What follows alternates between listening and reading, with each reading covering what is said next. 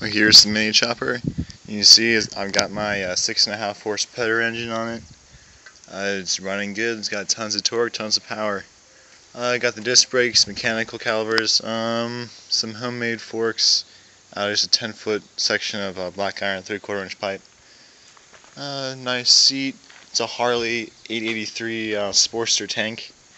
You see there the clutch setup and the sprocket. It's got a uh, 12 to 61 ratio, uh, 61 in the back obviously. Uh, lawnmower tire, live axle setup, 1 inch. Uh, that's got a 3 quarter inch shaft, a little kickstand there, some chain pegs, and a bike tire in the front. Um, it's, it's really a budget build, runs well, got up to about 50 miles an hour. Uh, you'll see some videos of it real, real quick, but uh, runs good, it's very fun to ride.